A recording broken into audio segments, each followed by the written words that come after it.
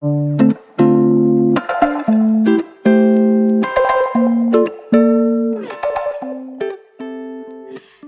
video memperlihatkan aksi dua orang wanita yang sedang melaksanakan ibadah bersama. Uniknya, kedua wanita tersebut beribadah dengan caranya masing-masing. Seorang wanita terlihat tengah duduk sambil berdoa, lalu datang seorang wanita mengenakan mukena sholat di sampingnya. Hal ini membuat warganet terkesima. Banyak yang merasa terpukau dengan toleransi keduanya.